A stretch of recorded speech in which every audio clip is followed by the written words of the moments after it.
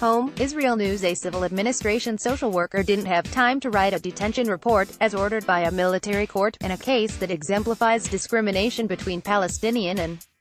Israeli minors A Palestinian minor who suffers from medical problems remains under detention, because the civil administration official responsible for writing a review of his case has passed the deadline for submitting it.